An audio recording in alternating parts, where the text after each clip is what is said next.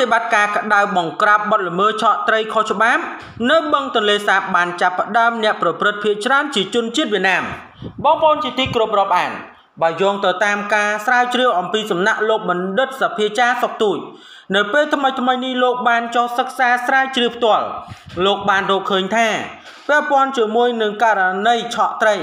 និងការបំផ្លាញត្រីដោយជនជាតិវៀតណាម ដោយប្រើប្រាស់អួនប្រភេទធំធំ ច្បាយក្រឡាញើកនិងយកទាំងត្រីតូចត្រីធំនឹងធ្វើឲ្យមានករណីព្រួយបារម្ភយ៉ាងខ្លាំងនិងធ្វើឲ្យខូចខាតមច្ឆាបឹងទន្លេ ដែលនៅក្នុងករណីនេះផងដែរបើយោងទៅតាមការបញ្ជាក់របស់លោកបណ្ឌិតសុកទូចលោកបានរកឃើញរឿងនេះពិតជាធ្វើឲ្យលោកនឹងមានការព្រួយបារម្ភយ៉ាងខ្លាំងរហូតដល់ថ្នាក់លោកបានប្រើប្រាស់នៅពាក្យសម្ដីមួយចំនួនពិតជាគួរឲ្យស្ដាយ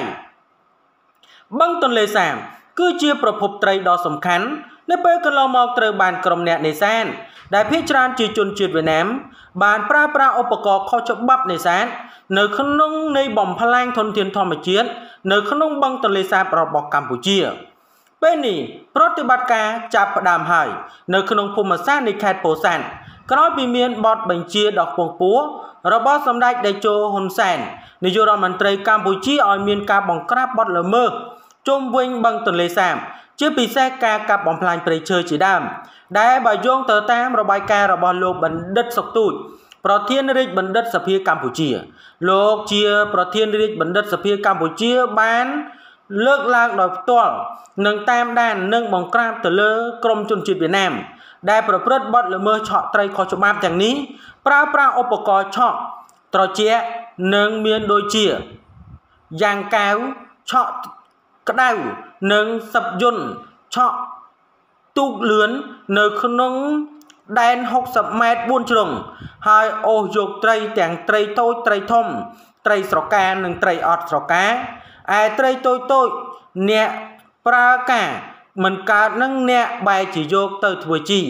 ជាមួយនឹងគ្នានេះផងដែរលោកបណ្ឌិតក៏បានថ្លែងអំណរអគុណដល់កម្លាំងអធិការខាងត្បូងបឹងទន្លេសាបនិងអាជ្ញាធរខេត្តពោធិ៍សាត់ដែលបានចោះមកបង្ក្រាបបទល្មើសឆក់ត្រីដោយខុសច្បាប់នៅបឹងទន្លេសាបកាយវិការនេះគឺពិតជាល្អប្រពៃណី